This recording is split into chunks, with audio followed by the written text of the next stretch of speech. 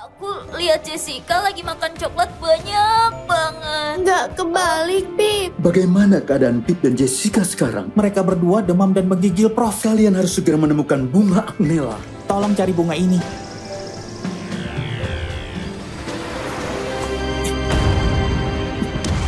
Saksikan Titus The Detective setiap hari Minggu hanya di RCTI.